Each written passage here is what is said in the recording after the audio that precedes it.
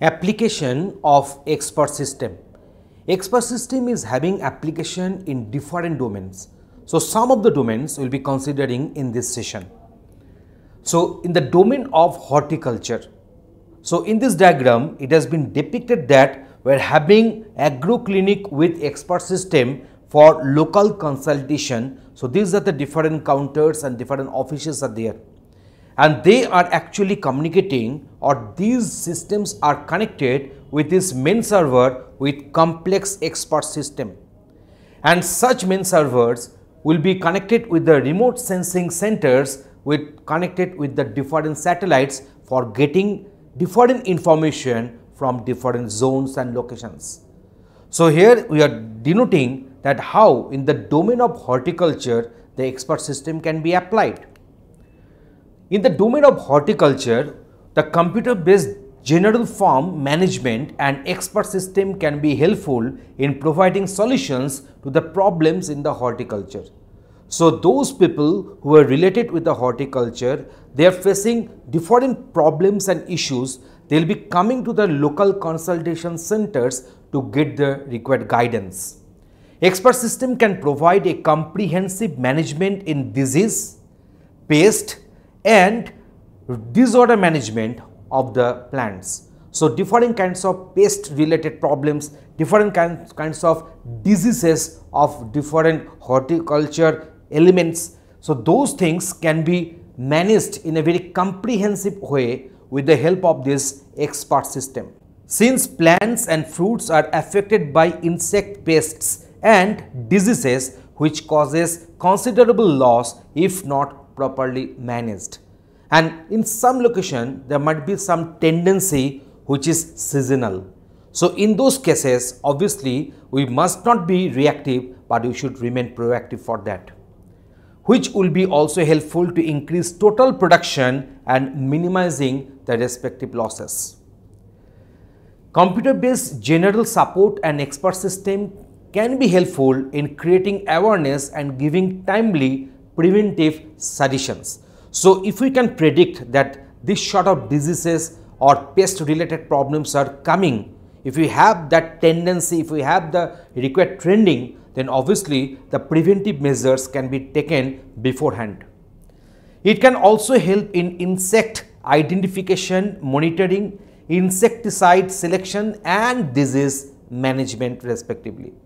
It can be cost effective as users need not to wait for the experts because there will be some expert system from where we will be getting all such guidances and information.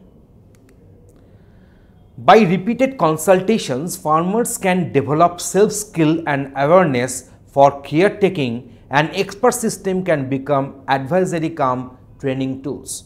So what will happen when the corresponding farmers and corresponding people related with horticulture will be going to the local consultation centers then without consulting with the actual experts physical human being experts expert system will give the required consultancy and guidances and in this way the respective people who are involved with it with this horticulture will get also the required training the transfer of knowledge from consultants scientists researchers and experts to extension workers in any area is very important for development of agriculture and also horticulture. So when the people related with this horticulture or agriculture, if uh, they are getting enough knowledge through the consultation, then obviously the most of the problems will be solved at their end only. Let us go for the next topic or the next domain where expert system can be applied and it is having a very sincere role that is our medical diagnosis and expert system. Pathology is the study of the origin, nature and course of diseases.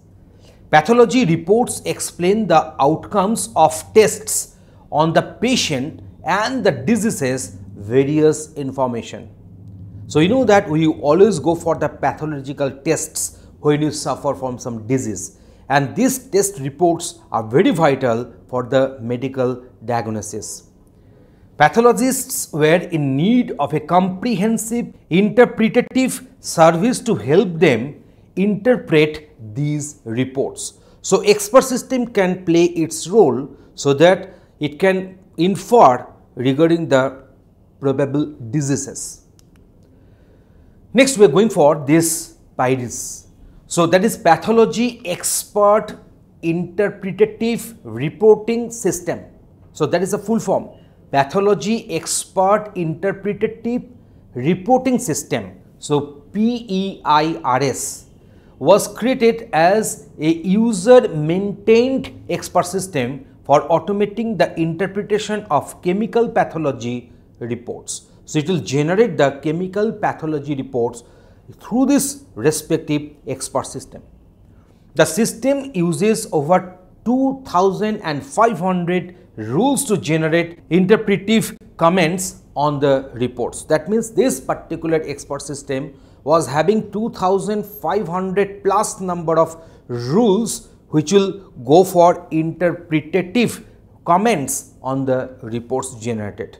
So, in this way expert system can play a very vital and productive role in our medical diagnostics and pathological tests. So, next we are going for Patriot missile. This particular missile can have another name that is SAM that is surface to air missile.